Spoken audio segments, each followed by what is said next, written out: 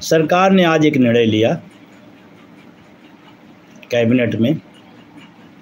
अभी उसकी पूरी परतें आनी बाकी हैं और पूरा डिटेल आ जाएगा तो हम फिर से बात करेंगे, क्योंकि जानना ज़रूरी है कि हमारे साथ अच्छा हुआ या बुरा हुआ। समझना ज़रूरी है कि सरकार हमको दे रही है कि किसी और को देने की तैयारी कर रही है। समझना ज़रूरी है कि लड़ाई कौन लड़ रहे हैं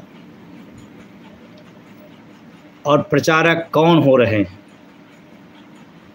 समझना ज़रूरी है कि जब एनपीएस इतनी अच्छी थी तो यूपीएस की ज़रूरत क्यों पड़ी? समझना ज़रूरी है कि अगर एनपीएस से यूपीएस में विकल्प दे सकते हैं तो ओपीएस का विकल्प क्यों नहीं? ओपीएस से इतना परहेज क्यों?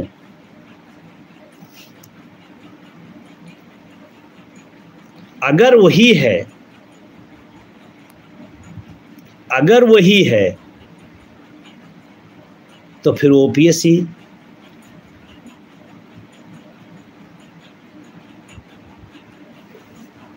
एक बड़ा सवाल है। ओपीएस से परहेज क्यों?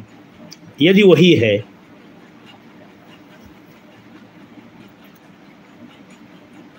तो पूरा देश समझना चाह रहा, जानना चाह रहा है कि हो क्या रहा है। देखिए, इसकी तीन चार परतें हैं। उसको समझना बहुत ज़रूरी है।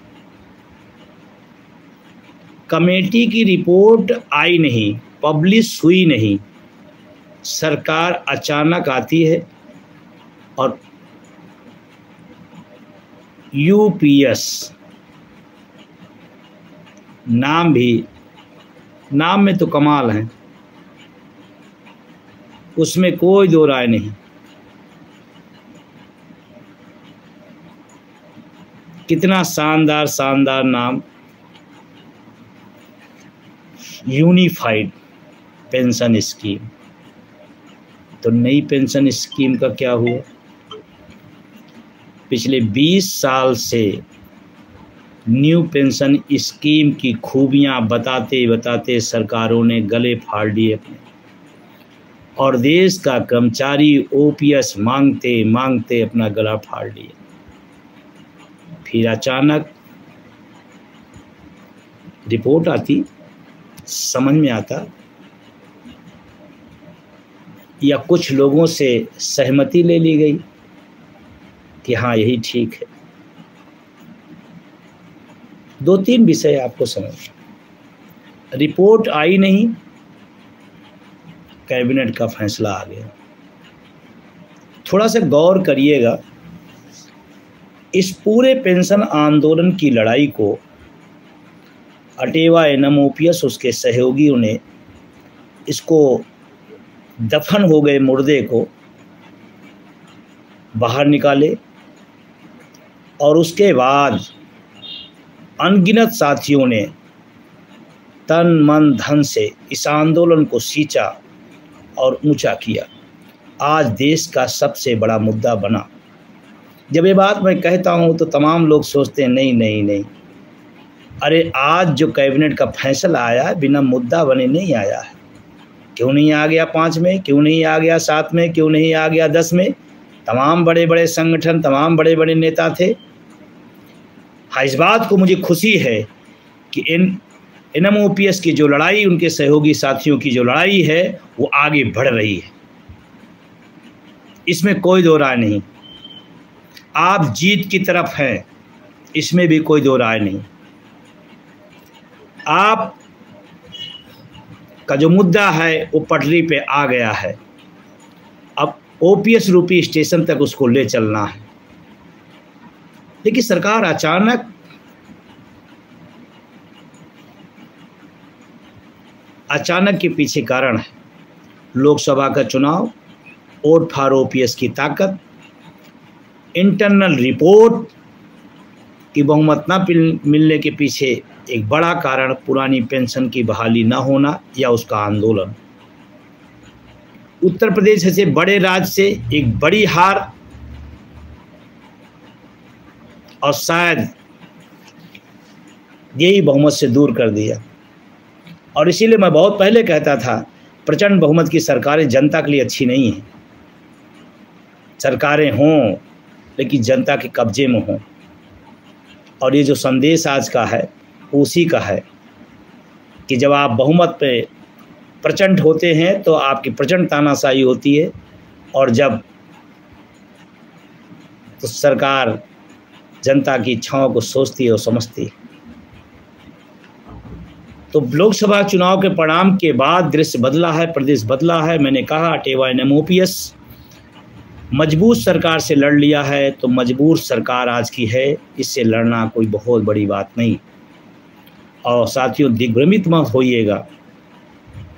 तमाम तरह के लोग आएँगे, तमाम तरह की बातें करेंगे। कोई विभाग में बांटेगा, कोई गुट में बांटेगा, कोई कुछ बांटेगा, ध्यान रखना, आपको एक साथ होना है, एक साथ रहना, अटेवा N M O P S जिंदाबाद। एकमात्र बैनर, और जो लोग हैं, दिल से हैं, और उन लोगों ने, सब लोगों ने मिल करके जिन लोगों ने मदद की मैं उनका भी धन्यवाद देता हूँ। वो लोकसभा चुनाव के परिणाम की वजह से सुनवाई शुरू हुई है।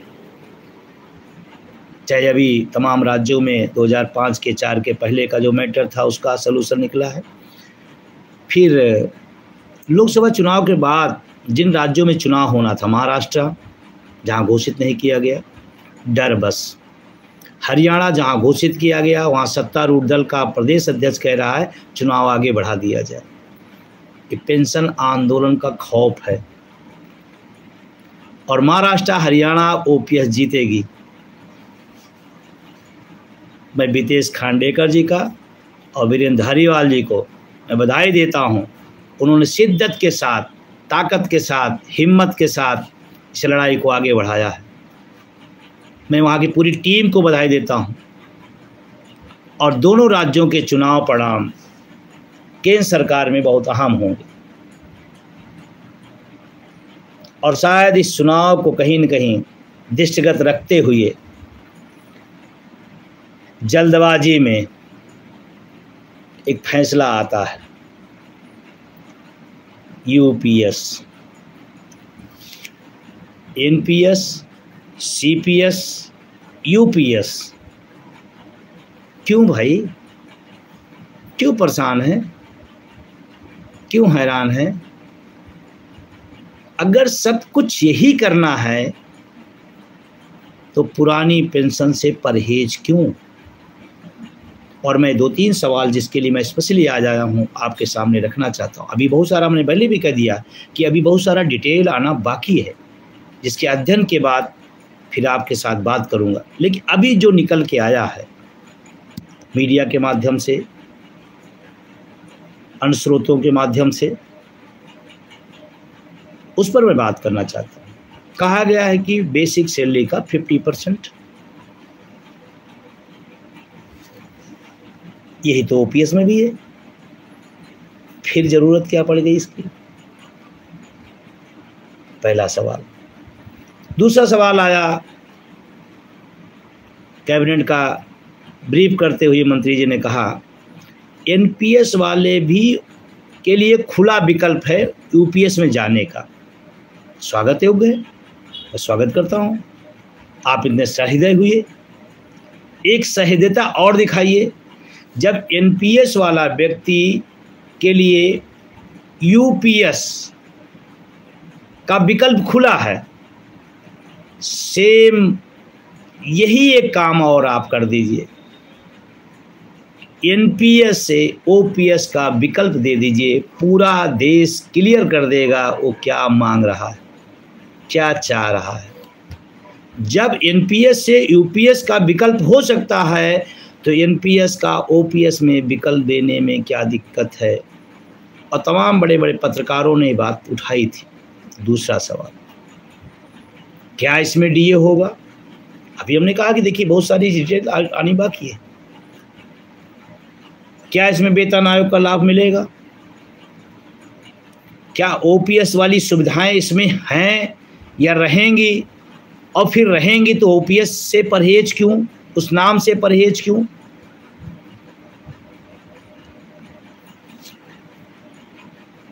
और तमाम सवाल लोगों के आ रहे हैं। तमाम बातें आ रही। फिर एनपीएस के तहत 20 सालों का जो हिसाब किताब है वो क्या होगा?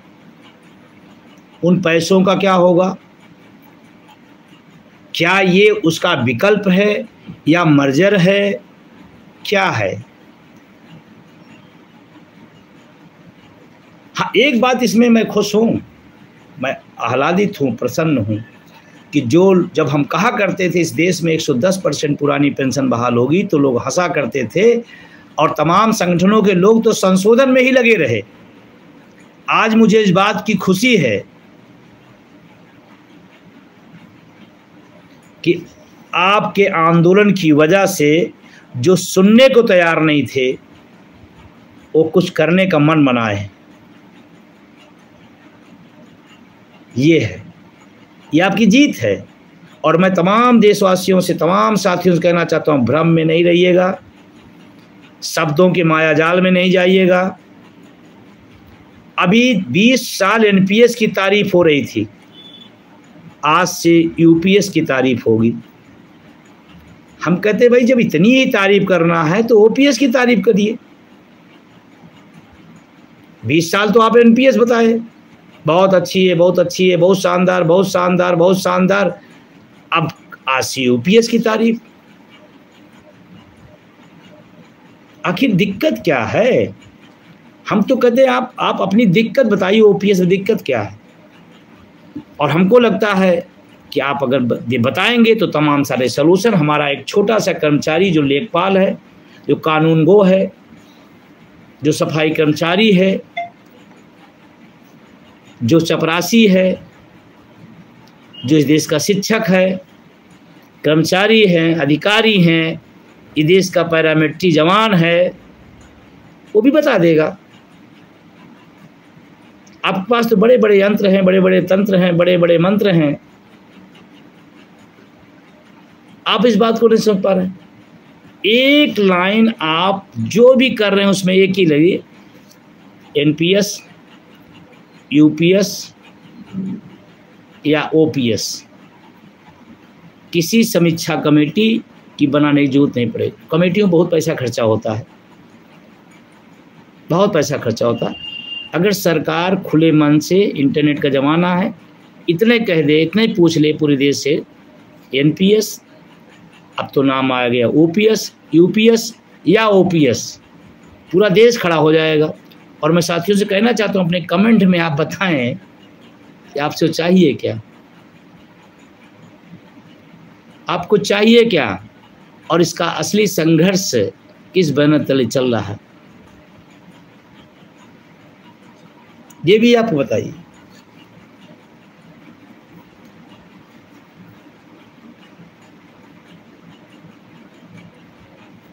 कटौती, फिर भी कटौती बढ़ाई जाएगी। ये क्या है? ये स्कीमें हैं। अभी आपने 20 साल भी नहीं हुए। अभी आप 20 साल भी नहीं हुए। आपने एनपीएस को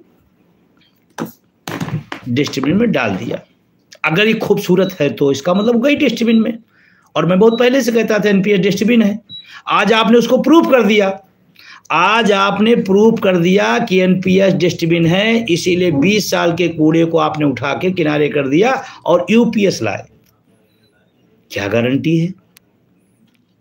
हो सकता है एनपीएस को डस्टबिन बनने में 20 साल लगे, इसको 10 ही साल लगे।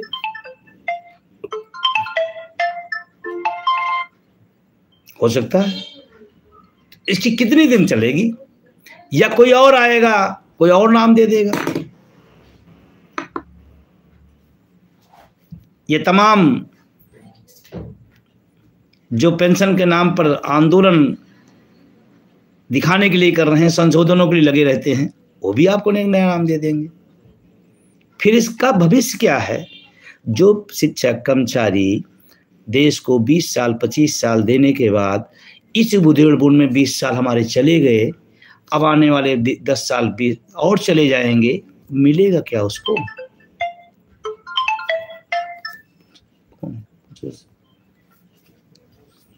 क्या मिलेगा? कितने दिन तक ये चलता रहेगा? मेरा बहुत विनम्र अनुरोध है। इधर उधर की बात मत कर। एक बात कर। अगर आपका मन है, आपकी नियति है तो आप इसमें से यू हटाइए और ओपीएस पे आ जाइए। अन्यथा आप सोच रहे होंगे कि हम एक भ्रमजाल पैदा करेंगे, आंदोलन को तोड़ेंगे, लोगों को भ्रमित करेंगे, चुनावी राज्यों के चुनाव है, उसका लाभ ले लेंगे। ऐसे ही लोकसभा चुनाव के जस्ट पहले कमेटी बनी थी और आज तक कमेटी का था, पता नहीं।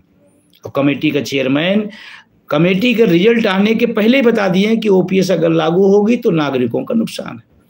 वो चेयरमैन है, सुधार के। और बहुत स्पष्ट हैं, इस देश का एक भी शिक्षक कर्मचारी, इस देश का एक भी पैरामेट्री, वो no NPS, no CPS, no UPS. अभी आंध्रा मॉडल की बड़ी चर्चा थी। कहाँ गया आंध्रा मॉडल? क्या है आंध्रा मॉडल? जो मॉडल लेके चले आए थे, वो भूतपूर्व होके बैठे हैं। तो जिस मॉडल लाने पर खुद भूतपूर्व हो गए, क्या वो मॉडल सही है? क्या वो मॉडल सही है? बड़ी चर्चा थी आंध्रा मॉडल। तब भी मेरे पास बहुत फ़ोन मैसेज आया करते थे, क्या होगा, कैसे होगा, आंध्रा मॉडल क्या है? मैंने कहा, एक नाम का दूसरा नाम रख दिया गया। नाम बदलने से काम नहीं बदल जाता। जो व्यक्ति का जो चरित्र है, वही रहेगा। उस सिस्टम का जो चरित्र है, वही रहेगा। और लगातार लोग मैसेज कर रहे हैं, एक बड़े आंदोलन की तैयारी करें। क्योंकि अटेवा एनएमओपीएस और उनके सहयोगी साथियों की मान्यता है, एक लाइन का हु बहु पुरानी पेंशन। हु बहु पुरानी पेंशन। न इससे ज़्यादा न इससे कम। हाँ इसमें कुछ चीज़ें थोड़ी सी एहतियात बरतनी पड़ेगी। देश के जो लोग पुरानी पेंशन से वंचित हैं, जो लोग इस आंदोलन को जीतते देखना चाहते हैं, जो लोग इस आंदोलन को सफल होते इस देश में देखना चाहते हैं, तमाम लोग बड़े बड़े नाम लिख करके अपने अपने बैनर टांग करके चल निकले हैं। उनका मकसद पेंशन नहीं है, पद लोलुपता है। उनका मकसद ओपीएस बहाली नहीं, बल्कि संशोधनकारी है। इनसे थोड़ा बचना पड़ेगा। आप सवाल करना छोड़ दिए बुद्धिजीवी समाज। कोई व्यक्ति आंदोलन में था, अचानक आंदोलन से निकल कर कुछ और बना करके आपके सामने खड़ा हो जाता है और आप कहते हैं हाँ ठीक है ठीक है। इस देश की कन्याकुमारी से कश्मीर तक एनएमओपीएस के बैनर तले पूरी लड़ाई लड़ी गई और तमाम राज्यों में सफलता मिली। और ये भी उसी सफलता की कड़ी है, क्योंकि चुनाव के समय एनएमओपीएस उनके सहयोगियों के अलावा कोई भी दिखाई नहीं पड़ रहा था। एक लाइन अगर आपको चेक करना हो तो चुनाव के दौरान उनके सोशल मीडिया के साइड पर चले जाइए। कोई सरकार को बचाने की बात कर रहा, कोई सरकार को जिताने की बात कर रहा था, कोई संसद को जिताने की बात कर रहा था। ओपीएस की बात सिर्फ़ और सिर्फ़ अटेवा एनएमओपीएस उनके साथ साथी लोग। चेक कर लीजिए। हाँ ये होशियार बहुत लोग होते हैं। उस समय सरकार को जिता कर किसी दाने वाला लाभ लेते हैं और इस समय तमाम समझौते कर करके, तमाम समझौते कर करके कर्मचारियों के भी हितैषी बन जाते हैं। तो मतलब दोनों गेम सरकार भी और कर्मचारी भी। और हमारा पढ़ा लिखा बुद्धिजीवी कर्मचारी भी गलत फहमी में आ जाता अभी इसी में अभी तमाम कला तक हमारे पास भी तमाम तर्क वितर्क लोग आएँगे। सर यूपीएस तो ये ओपीएस से भी बहुत अच्छा हो गया। अरे भाई, हम तो कह रहे हैं हमको पुरानी वाली, कम वाली दे दीजिए। उससे अच्छा क्यों कर रहे हैं? तो साथियों, आपसे मेरा निवेदन है कि इसको आप अध्ययन करें आपकी जानकारी हो तो आप मुझे भी बताएँ। मैं भी अपने स्तर से पूरी जानकारी लूँगा और कल तक बहुत सारी डिटेल आ जाएँगी। लेकिन अभी तक का जो लुआब है, अगर यूपीएस में 50 परसेंट बेसिक का तो ओपीएस में क्यों नहीं? अगर आपको एनपीएस प्यारा है यूपीएस प्यारा है तो ओपीएस से नफरत क्यों? ये मेरा सवाल है। और अभी सवाल इसके साथ बहुत सारे हैं। अभी तमाम टीवी चैनलों के फ़ोन आ रहे थे, तमाम पत्रकार साथियों के फ़ोन आ रहे थे, अपनी प्रतिक्रिया हमारी मांग रहे थे। मैंने एक ही बात बोला है कि अगर वही है तो ओपीएस से परहेज क्यों? और आप से मैं कह रहा हूँ, आप ढीले मत होइएगा। आप बटिएगा नहीं। N M O P S अटेवा और उसके सहयोगी संगठनों का एक बैनर है, उसी बैनर पर विश्वास करिएगा, अगर ये लड़ाई यहाँ तक आई है तो सिवाय उसी बैनर के अलावा किसी का नहीं। बल्कि मैं ज़िम्मेदारी साथ कह रहा हूँ कि आंदोलन को कमज़ोर करने के तमाम बैनर बने हैं, बन रहे हैं और बनेंगे। और अगर एक मुद्दे पर पूरी ताकत के साथ एक दिशा में लड़ा जाए तो हमको लगता है जैसे परिणाम आ रहा है, आने वाले समय में आप सब की वो सपना जो ओपीएस का है, वो पूरा होगा। 110 परसेंट पूरा होगा, क्योंकि सरकार के कान, आँख अब खुले हैं, क्योंकि गठबंधन की सरकार है। बैसाखी की सरकार है तो थोड़ी ताकत, थोड़ी हिम्मत, थोड़ा संघर्ष और करिएगा। और ख़ास करके जिन राज्यों के चुनाव हैं, मैं फिर कह रहा हूँ, बोर्ड की चोट अकेले नेता समझता है और कुछ नहीं समझता। नेता को बोर्ड की चोट पड़ेगी और हर चीज़ तैयार है। उत्तर प्रदेश की बात को 2005 के पहले का मामला डेढ़ साल से चीफ सेक्रेटरी के यहाँ पड़ा था। और तमाम संगठन जब हो गया तो उन्होंने मैंने पत्र लिखा मैंने पत्र लिखा मैंने पत्र पत्र लिखने से हो जाता तो 2005 और आज 24 कोई विभाग के लड़ने से हो जाता तो किसी विभाग का होता, किसी का ना होता। और रेटेवा सबके लिए लड़ता है। और ये पेंशन जो बहाली 2005 के पहले हुई है, वो सबके लिए हुई है। जो लड़ता उसको मिलता है, फिर न मिलता। एक विभाग ने लड़ा तो मिल जाता, दूसरा ऐसे कैसे संभव? सबके लिए लड़ा गया है और लड़ा जाएगा और मजबूती के साथ लड़ा जाएगा। और हम तो कहते हैं, थोड़ी और हिम्मत दिखाओ। ज़्यादा समय की ज़रूरत नहीं है। थोड़ा अपनी ताकत और बढ़ा दीजिए। बहुत जल्द ये सपना पूरा होगा। जो लोग ओपीएस में आ गए हैं, जो लोग ओपीएस पा गए हैं, राज्यों में पा गए हैं, तमाम विभागों के लोग पा गए हैं, मैं उनसे निवेदन करता हूँ, दोगुनी ताकत से आप लड़िए। आपके सामने यक्ष प्रश्न है कि 2004 में जब बंद हो रही तो उन लोगों ने नहीं बोला जिनको बोलना चाहिए। उन पर तमाम आरोप लगते हैं, प्रत्यारोप लगते हैं। मैं आप सबसे कहना चाहता हूँ कि आपके ऊपर ये ब्लेम ना लगे। आप कहो कि हमने जितनी ताकत से लड़ी थी, अब पाने के बाद उससे दोगुनी ताकत से हम लड़ेंगे और सबके लिए ओपीएस मिले। ये आपको करना पड़ेगा। और करना चाहिए आपको। अन्यथा दो हज़ार चार के समय जो ब्लेम लगा, वो आप पर भी लगेगा। तो घर नहीं बैठिए, सुस्ताइए नहीं। संगठन की जो गाइडलाइन है, उस गाइडलाइन पर चलिए। संभवतः हम इसको कल और अध्ययन कर लेंगे, अपनी टीम से भी बात करेंगे, फिर आपके बीच में आएँगे, और टीम का, अब बस इसी का इंतज़ार भी था मुझे। क्योंकि हलचल केंद्र सरकार में थी कि कुछ होने वाला है, कुछ करने वाले हैं, कुछ देने वाले हैं, हो रहा है, हो जाएगा, अभी फैसला आने वाला, तमाम सारा बातें हो रही थी। तो मैं वेट भी कर रहा था कि, क्योंकि मैं पूर्वाग्रसित नहीं व्यक्ति हूँ। हमने कहा, सरकार का एक पक्ष आ जाए कि किस दिशा में जा रहे हैं, फिर उसी दिशा से हम अपने आंदोलन की रणनीति बनाएँगे और एनएमओपीएस ने से भारत नहीं, पूरी दुनिया के ट्रेड यूनियन का सबसे बड़ा प्रदर्शन एक अक्टूबर दिल्ली में किया। इसको पूरी दुनिया मानती है, पूरा देश मानता है। और अब तो जब आह्वान होगा, उससे भी डबल होगा।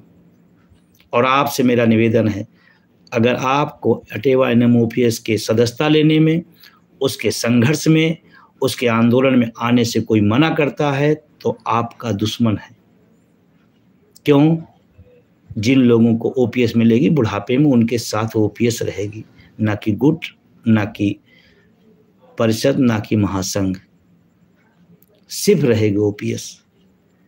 तो आप सबसे मेरी बात जिनसे हो रही है, और इस वीडियो को सिर्फ़ यहाँ तक नहीं, इसके बाद भी आप तमाम लोगों तक, हर ग्रुपों तक, हर विभागों तक, हर प्लेटफॉर्म पर, सिर्फ़ शिक्षक कर्मचारी नहीं सामाजिक संगठनों तक पहुंचाओ, क्योंकि लड़ाई पीढ़ियों की अगर ओपीएस बहाल होता है तो हमें आपको तो मिलेगी, लेकिन आने वाली पीढ़ियों के लिए एक रास्ता बन जाएगा।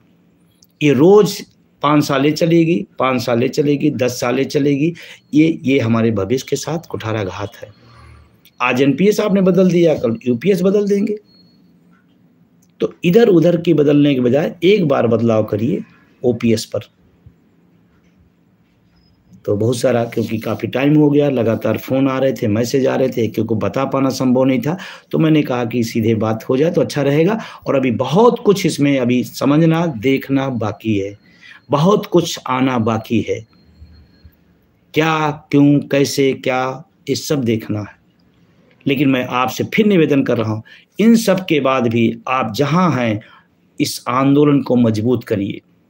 एन उसके सहयोगी संगठनों को ताकत दीजिए। उत्तर प्रदेश के अंदर सदस्यता अभियान चल रहा है, सहयोग अभियान चल रहा है। उत्तर प्रदेश देश का सबसे बड़ा राज्य है। पूरे देश की उम्मीदें आप पर रहती हैं। तो आपको ज़्यादा ताकतवर होना होगा। इस आंदोलन को ज़्यादा ताकत देना पड़ेगा, क्योंकि बड़े भाई की हमेशा ज़िम्मेदारी बड़ी होती है। उत्तर प्रदेश देश के तमाम राज्यों से बड़ा है। तो मेरा निवेदन है कि जो लोग अटेवा की सदस्यता सहयोग नहीं करे हैं, वो अपने निरस्त लोगों से करें और अधिक से अधिक लोगों तक आप इस अभियान को ले जाएँ, क्योंकि अभियान जितना मज़बूत होगा, आंदोलन उतना मज़बूत होगा। और अभी हम इस जीत की तरफ़ बढ़ रहे हैं। मैं फिर कह रहा हूँ कि हमारा आपका संघर्ष पटरी से उतरा था अनम ओपीएस आया, इसको अब पटरी पर ला दिया है। अब पटरी पर सरपट दौड़ाते हुए ओपीएस नामक रेलवे स्टेशन पर पहुँचा देना। रेलवे के साथियों से मेरी विशेष अपील है, विभागों में अगर आपको बांटा जाए तो आप बटिएगा नहीं। एन एम आपका पूरे देश के शिक्षकों, कर्मचारियों, सेंट्रल स्टेट, सबका संगठन है, सामूहिक संगठन है, उस पर रहिएगा। रेल अलग लड़ेगा, रेल अलग लड़ेगा, ये अलग लड़ेगा। यही तो हुआ था 2004 से लेकर के पाँच सात, दस सालों में। अलग अलग बांटा, और अलग अलग क्यों बांटा जाता है? अपने पद के लिए, अपने पदों की बराबरी के लिए, पद लालसा के लिए। तो थोड़ा आप होशियार रहिए, बचे रहिए। विभाग, पद, गुटों की सीमाओं से परे होकर के ओपीएस की लड़ाई में एटेवा एन एम के साथ आइए। और हम सब जीतेंगे। हरियाणा और महाराष्ट्र और कश्मीर के साथियों से मैं स्पेशली कहना चाहता हूँ कि यहाँ चुनाव है। आप चुनाव की ताकत लगा दीजिए। आपके पास मौका है। अगर आपने ताकत लगा के वहाँ पर जिता दिया ओपीएस को तो ये यू ओ में बदल जाएगा। ये मौका है आपके पास। हार यू को ओ यू ओ में बदल देगा। तो बहुत सारा काफ़ी टाइम भी हो गया है। आप सबको शुक्रिया, धन्यवाद। आप सबने सुना, समय दिया कमेंट किया।